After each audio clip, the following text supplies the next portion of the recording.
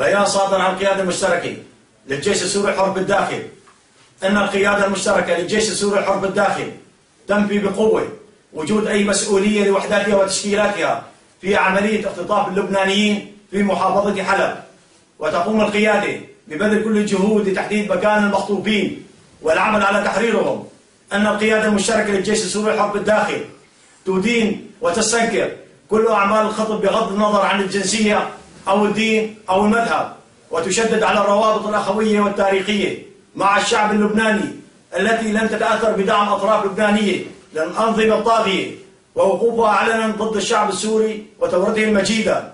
إننا إننا نستغرب من تورط بعض الفئات اللبنانية بأعمال موثقة ضد شعبنا وثورتنا ونأمل أن تعود عن الطريق الضالة قبل فوات الأوان.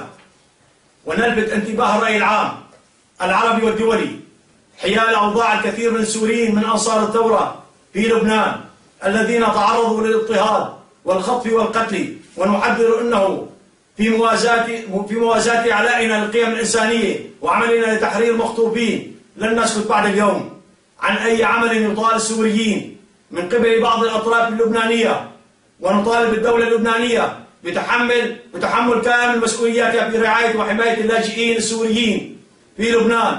عاشت سوريا وعاش لبنان وتسقط الوصاية والظلم والاستبداد.